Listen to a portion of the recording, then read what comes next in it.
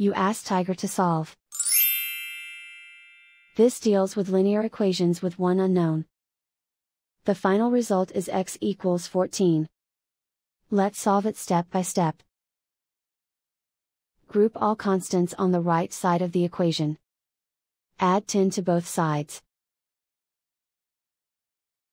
Simplify the arithmetic.